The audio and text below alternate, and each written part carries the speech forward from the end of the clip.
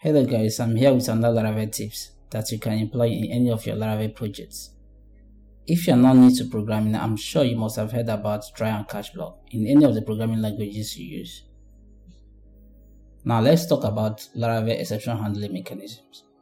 Okay, Laravel uses the try and catch block to allow developers to catch and handle exceptions and errors in their code seamlessly.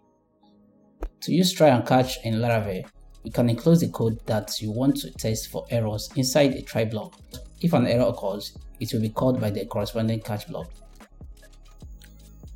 Okay, let me show you how this actually works. First, let's try to get a user that doesn't exist in the database and see what happens.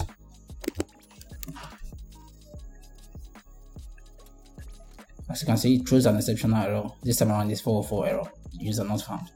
So instead of making this page appear like this and breaking your code, you can actually catch the error by putting all your code inside the try and catch block, just like this.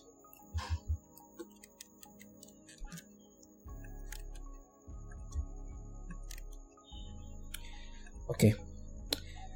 To catch this error, you're going to put a backslash on the section. Now this time around, we're going to return the error back to the user, but it's not going to break the code so return back with error. Now tell the user what actually happens to your code. Maybe something like exceptional error. User not found.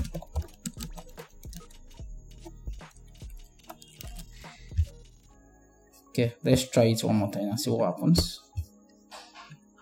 As you can see it throws an exceptional error. User not found Okay, what actually displays this error? In our blade file, we have this session error, which catches the error that we are going to throw to the user and display it to the user.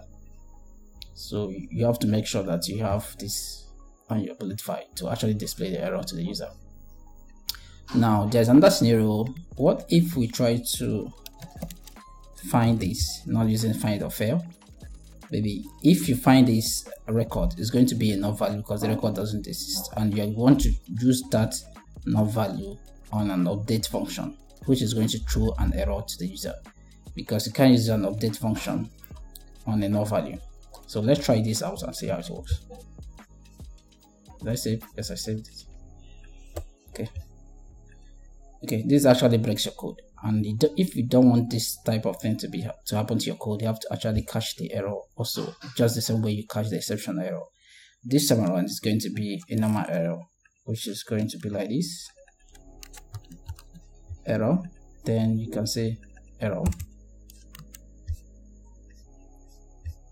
Let's refresh this back. Okay let's try to update. As you can see it cuts the error. Uh, now your website looks more friendly to the users to understand and know what is actually happening on the background. So if you find this informative and helpful please don't forget to like and subscribe and also share to your friends. Thanks for watching.